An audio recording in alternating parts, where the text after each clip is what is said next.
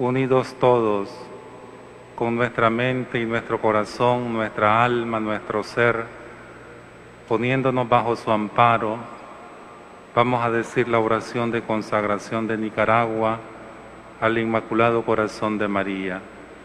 Voy haciéndolo despacio para que ustedes vayan también diciendo la oración. Empezamos. En el nombre del Padre, del Hijo del Espíritu Santo. Amén. Santísima Virgen María, Reina y Madre de Misericordia, que en tus entrañas maternas engendraste a Jesús, el rostro humano de la misericordia de Dios. A ti, Virgen purísima, a tus manos maternales y a tu corazón inmaculado, consagramos nuestro país.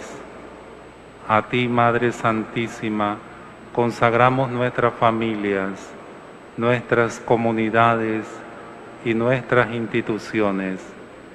Que Nicaragua, tu pueblo amado, sea capaz de encontrar caminos de tolerancia y de comunión, de fraternidad y de paz. Que los nicaragüenses podamos construir un futuro digno para todos, en donde la diversidad sea una riqueza y en donde podamos construir la paz como fruto de la justicia.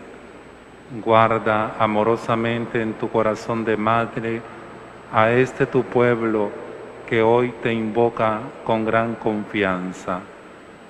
Reina y Madre de Misericordia, intercede por la Iglesia, la comunidad de tu Hijo Jesús, de la cual eres icono purísimo, para que ella nunca se encierre ni se detenga en su pasión por instaurar el reino para que la iglesia sea una casa de misericordia para todo nuestro país, casa de comunión, de libertad, de alegría, de esperanza.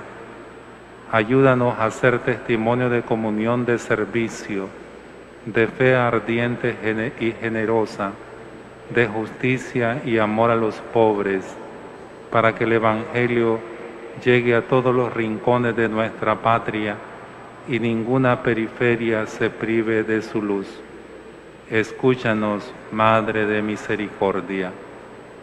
A ti, Purísima Señora, consagramos nuestra patria Nicaragua en estos momentos de incertidumbre. Toma a Nicaragua entre tus manos y acógenos en tu corazón. Ayúdanos a saber dialogar entre nosotros a luchar por la dignidad de todos los seres humanos, a no dejar de tener hambre y sed de justicia, a ser hombres y mujeres tolerantes y constructores de paz. Madre de misericordia, muéstranos a Jesús, fruto bendito de tu vientre. Ayúdanos a conocerlo, para que como Él, también nosotros pasemos por todas partes haciendo el bien. Muéstranos a Jesús para buscar siempre como Él el bien de las personas, ser sensibles al sufrimiento de la gente, mirar el dolor de los demás, conmovernos y auxiliarnos con misericordia. Hoy, más que nunca, Santísima Virgen María, tenemos necesidad de que nos muestres a Jesús, fruto bendito de tu vientre. Santísima Virgen María, acógenos en tu regazo. Ruega por nosotros, Santa Madre de Dios, para que seamos dignos de alcanzar las gracias y promesas de nuestro Señor Jesucristo. Amén.